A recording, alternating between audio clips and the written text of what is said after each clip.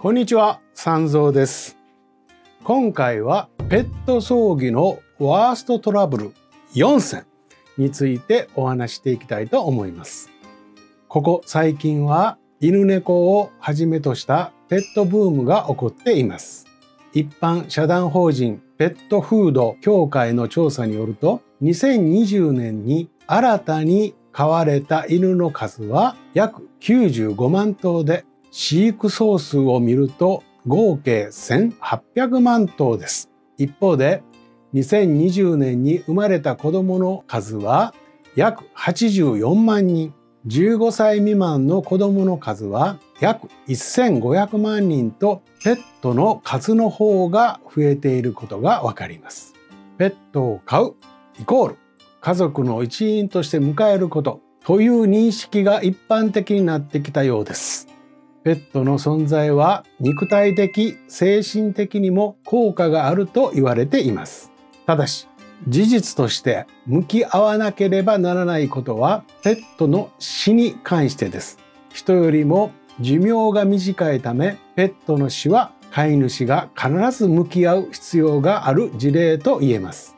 ペットの葬儀はペットブームに乗って近年急速に増加しました。少し前まではペットの死後といえば自分で埋葬するか焼却場に持っていくことが一般的でした。そこで誕生したペット葬儀は火葬から納骨するまで家族の一員として見送ることができ需要が高まっています。しかし現在問題になっているのが民間のペット火葬業者やペットレーンなどとのトラブルです。ペットの葬儀、火葬に関して現在の日本には法律がなく法整備が整っていない状況です。そのため役所の許可や登録がなくても民間のペット火葬業者やペットレーンなどを運営することが可能なのです。その結果、お金儲けを目的とした悪徳業者が増えやすく、ペット火葬業者やペットレーンの近隣住民とトラブルになってしまうことがあります。今回はそんなペット葬儀で頻発しているトラブルを4つに絞って解決していきます。また最後にはトラブルを回避する方法までしっかりお話していきますのでペットを飼っている方やこれから飼おうという方にはぜひ最後まで見ていただきたいです。では早速行きましょう。ペット葬儀のトラブルで一番多いのが高額な請求です。大切な家族であるペットの最後はきちんと見送ってあげたいものです。自治体の火葬場などでも動物火葬は受け入れてくれるのですが、ペットをより大切にする思いの強い人だと民間業者に依頼されることも多いのではないでしょうか。良心的で誠実な業者ももちろんたくさんありますが、一部の悪徳業者は火葬炉に遺体を収めて後戻りができなくなったところから交渉を始めて高額な金額を請求します。もしも支払いに応じなかったら火葬を中断する。遺骨を返さない。生焼けのまま返す。などと脅されるため、接種はやむなく法外な費用を支払わざるを得なくなってしまうのです。ペットが亡くなってしまい、ペット火葬をしようと思っても、悲しみのあまり業者を選ぶ気力すらなくなり、連絡できなかったりしてしまうこともあります。亡くなってしまったから、すぐに火葬をして欲しいと思っても、ペット葬儀業者との日程の折り合いがつかなかったり、思っていた予算とペット葬祭業者の提示する価格と合わなかったりと思い通りに進まないこともよくあります。そのため、ペットが亡くなる前に事前にご連絡をいただき、費用や仮想方法を検討した上で、ペット葬祭業者を決めておくことで、もし亡くなってしまった場合でも円滑にことを進めることができます。亡くなる前に行動することも勇気がある決断かもしれませんが、亡くなった後に連絡するのはきっとそれ以上に辛いことなのでペットへの思いがある人ほど早く準備をしていく方が結果的に良いと考えています。家族の一員としてペットを飼われている方も多く亡くなった際は人と同じように仮装を望む方もまた増えています。さらに仮装後は遺骨を返してもらいたいという方も多いのではないでしょうか。遺骨は全て返してもらえるわけではありません。そんな中で返骨をしてもらうことも念頭に置かずにお財布の関係で合同仮装を選択してしまったというのはよく聞く話です。返骨を求める人はあまり多くはないですがどんな仮装があるかを理解する必要があります。ペット仮装は複数のペットを一緒に仮装する合同仮装。個別でペットを仮装する個別仮装の2種類あります。合同仮装の場合は複数のペットの遺骨が混ざってしまうため返却されることはありません。そのため返骨してもらうためには個別仮装を選ぶ必要があります。また業者にペットを引き取ってもらい個別仮装を一任する一任個別仮装では返骨をしてもらえないケースもあります。一任個別仮装の場合は返骨の有無返骨がない場合はどのように供養するのかなどを確認するようにしましょう。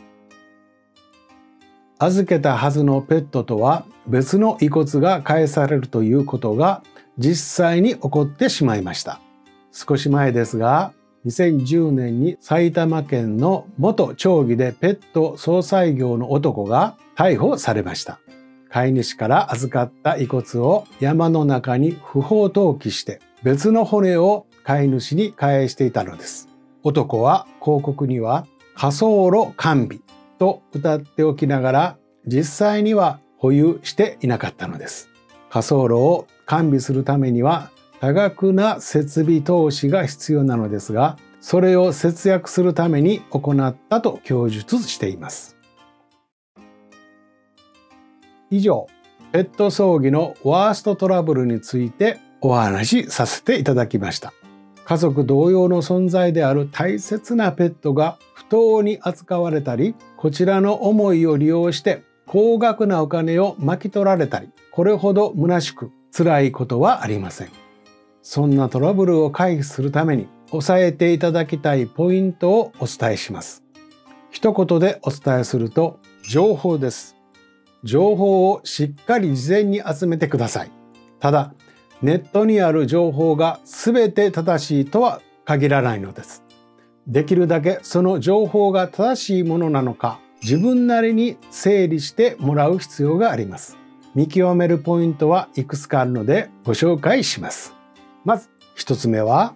ネット上に会社情報が記載されていることです。屋号や霊園の場所だけを記載して運営会社についての情報がどこにも書かれていないホームページも散見します。また屋号や霊園の場所の記載はあるけども実際は存在していない可能性もあるので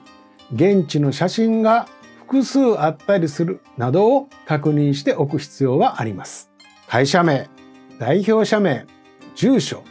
連絡先など情報開示をしている業者は信用性が高い傾向にあります。また、代表者やスタッフの顔が掲載されていたり、ブログなどによる情報発信が頻繁になされていると、なおのこと信頼性が増すでしょう。二つ目は、費用の総額をあらかじめ聞き書面に残すことです。費用の総額を必ず聞きましょう。追加の可能性があるのであればそれも見越した費用を提示してもらいましょう。その上で見積書や契約書などの書面に必ず残しておきます。口頭見積もりや口頭契約は後で言った言わないの問題を引き起こします。必ず書面に残し同じ内容のものを双方が保管しましょうもしも対応が悪い場合はその業者に依頼するべきではないでしょう。そして最後、3つ目は契約書へのサインは急がないことです。仮想や埋葬の執行の時には契約書を交わします。書面の内容をきちんと確認し、時間の余裕があるならば、サインは急がないことです。悪徳業者であるほどサインを急がそうとします。大事なペットのためにも慎重に毅然とした態度で臨みましょう。はい、いかがでしたか？ペット葬儀のワーストトラブル5選についてお話しさせていただきました。ペットに限らず葬儀というものは皆さんの人生にとってとても大切なものだと私は考えています。悪徳業者がいることは少し残念ではありますが、私もペットを飼っている身として、同じくペットを飼っていらっしゃる人のためになれば幸いです。この動画から少しでも皆さんのお役立てできていれば、この上なく嬉しく思います。これからも葬儀をはじめとした人生のあり方を短くわかりやすく動画を発信していきます。もしこれからも応援したいという方はぜひチャンネル登録と評価ボタンを押してください。励みになります。コメントも毎回見ておりますので気になったことや動画のリクエストなどもお待ちしております。それではまた次の動画でお会いしましょう。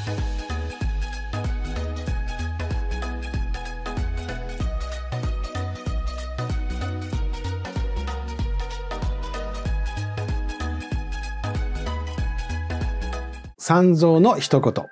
ペットにちなんだお話です。私は家で保護猫を23匹、何度と網で囲ったところで5匹、餌を食べに通ってくる外猫5匹の世話をさせていただいています。世間では猫はネズミ山式に増えると言われていますが4匹5匹と生まれても生き残る子猫はごくわずかです野良猫は水不足なんです茶碗に水を入れて軒に置いてください。これもくどくかもしれません。三蔵の一言は以上です。